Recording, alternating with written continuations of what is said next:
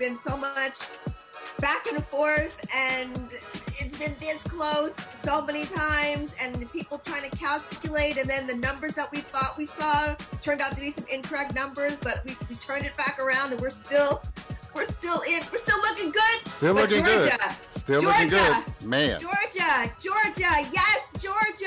SSNATL.com means we're located in Georgia, and we'll give you all the breakdowns. But first of all, if you want to chime in, you want to be our SSN Smart Squad participant, it's real simple. Yes. Just go to SSNATL.com, click on Live TV, and go ahead and comment in real time. You can also text us at 678 613 5857 and uh, go ahead and, and get in on the conversation, which you definitely want to. All right, got some breaking news. Uh, when we first came together, we didn't know Yeah. what was happening.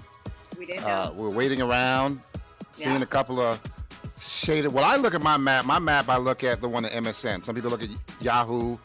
You pick. Some people look at the New York Times. I look at MSN. And now Mm-hmm. MSN does the ones that are kind of shaded, not all the way to that particular solid color, means that that particular candidate is leading. is leading, yes. So, what happened is that there were a couple of red states that were shaded, you know, Yes. magenta like. Shaded magenta like, so it was leaning towards red, right? We're like, oh, they're gonna, it's gonna be, it's gonna be red. Yeah. But, Including us, including Georgia. but we had a turnaround. The massive turnaround. proportions. Matter of fact, you got the stats there. You got the deets, Brenna. Yeah. Give so the deets. pretty so pretty much um, we have been in, in in a position and we've been looking at these these numbers. Um, Georgia finally came through and pulled it out. Uh, it- it's so slim. It's like a thousand and twenty six votes made the difference and allowing for Biden to take the lead and to flip Georgia to uh, blue at this point.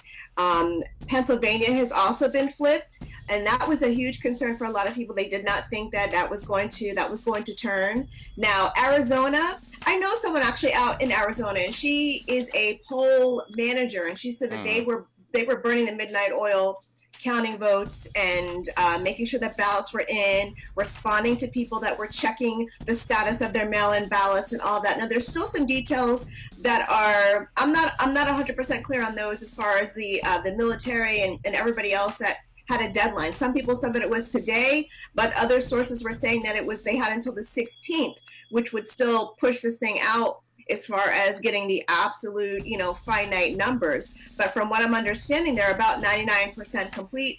And then Clayton County uh, was the one that that I, I think pulled who I wanted to vote